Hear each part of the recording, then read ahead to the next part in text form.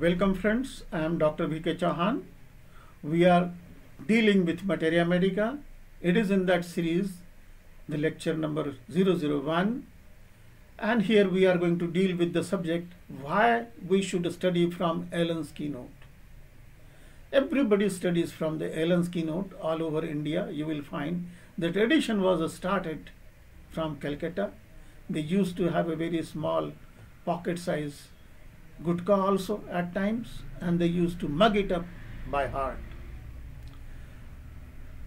So let us see what is the benefit and why, why we should go for this kind of a study. The author. Who is the author? The author is Dr. Henry C. Allen. He was born on February 10th, 1836 in a village near London. He received his early education in London. Then he graduated from Western Homeopathic College at Cleveland, Ohio in 1861. He attended the College of Physicians and Surgeons of Canada. Shortly after graduation, he entered the Union Army, serving as surgeon under General Grant. After the war, he accepted the professorship on the anatomy in his alma mater at Cleveland. In 1875, he moved to Detroit, Michigan. In 1880, got appointment as professor of materia medica at University of Michigan. In 1892, he founded the Hering Medical College and Hospital. And here he held the position of dean and professor of materia medica until his death January 22nd, 1909. His literary work, he authored numerous books and articles, but we are here concerned with his most popularly read work, Allen's Keynote. This work is based on guiding symptoms of our materia medica. It is a monumental work of 10 volumes by Dr. Constantine Hering. He is the mentor of Dr. Allen. Dr. Allen was highly inspired by Dr. Constantine, who was born on 1 1 1800 and lived till the age of 80. And we all know that in Materia Medica we keep on reading. He proved drugs which are the most important are lachesis, gelsemium, iodium, apis mellifica. And the famous law of direction of cure was proposed by him and is also known as Hering's law of cure. His publications include Domestic Physician and The Guiding Symptoms of Our Materia Medica is a monumental work having 10 volumes. The Guiding Symptoms of Materia Medica. What are the exceptional features we have? It contains the cured symptoms. Therefore, it stands as a complement to all proving or all previous works on our materia medica. Our materia medica has been based on the provers, how the proving has been done, how the symptoms have been given by provers. But for the ease of searching of symptoms, the drug is been grouped into 48 headings.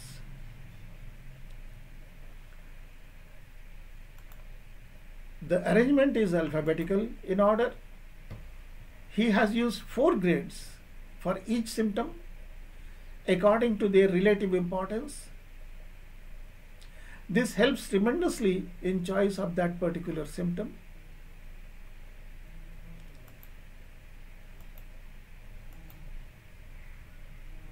The gradations include grade 2 bold vertical letters, vertical lines, the symptoms repeatedly verified, vertical line, bold, these symptoms verified by cures, and third grade symptom is two vertical lines They are thin lines, they are not bold lines. The symptoms more frequently confirmed. And the grade fourth is the one vertical line that is the lowest and designated as occasionally confirmed symptom. So far, what is the merit of guiding symptom of our materia medica?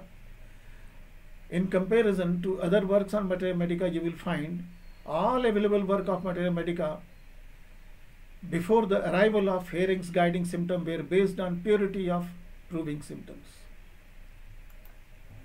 But now we had no materia medica which was based on the confirmatory clinical symptoms.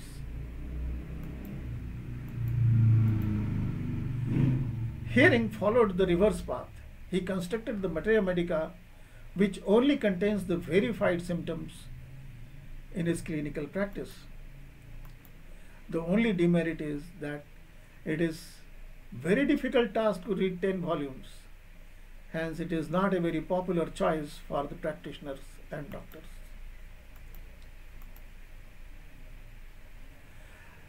The what happened the, when Allen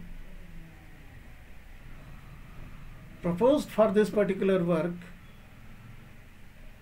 as he has been very highly inspired by Hering,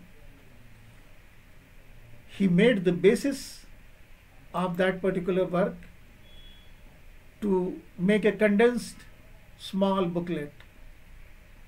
And he produced the most comprehensive and practical presentation at that time. And as we know that he has picked up only first and second grade rubrics or you can say symptoms.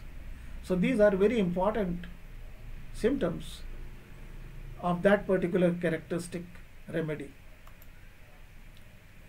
To maintain the authenticity and purity of the symptoms, he retained as they appeared in source book, except that at few changes, except that there are few changes where he has combined two or more symptoms. So let us see how he has done it.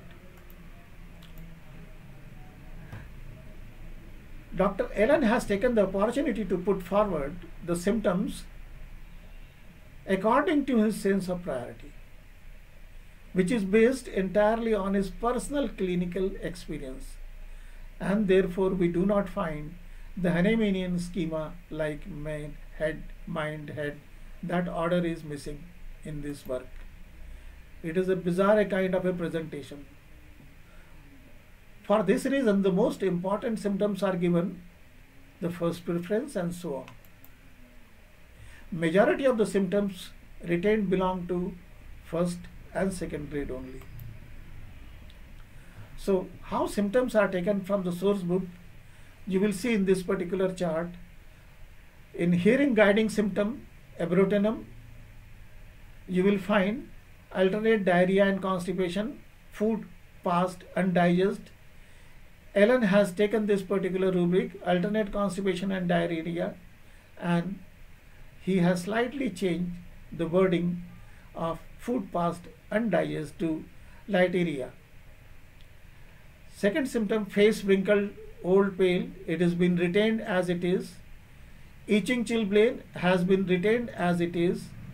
The gout, painful, inflamed wrist and ankle joints, joint stiff with pricking sensation is combined here under gout, joint stiff, swollen with pricking sensation, wrist and ankle, joint painful and inflamed. The Allen's keynote is a time-tested, most important document of clinically verified symptom. It contains approximately 178 total remedies old practitioners who have been very successful heavily dependent on this single work. As Dr. Allen tried to bring information in very brief, you will naturally find some symptoms as incomplete or confusing.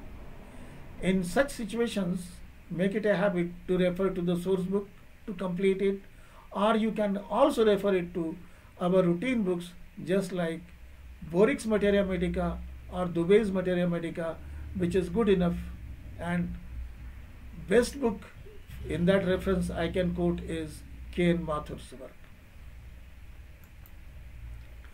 For potency selection, please refer to complementary of complementary to this work, Boericke Materia Medica. Note that Allen's keynote is main source of questions which are asked in UPSC, State Public Service Commission, MD entrance, more than any other work on Materia Medica. So all the Materia Medica questions you will find somehow will be coming from Allen's keynote. So it becomes very important and pertinent to study this particular book with care. Thank you very much for your patient listening.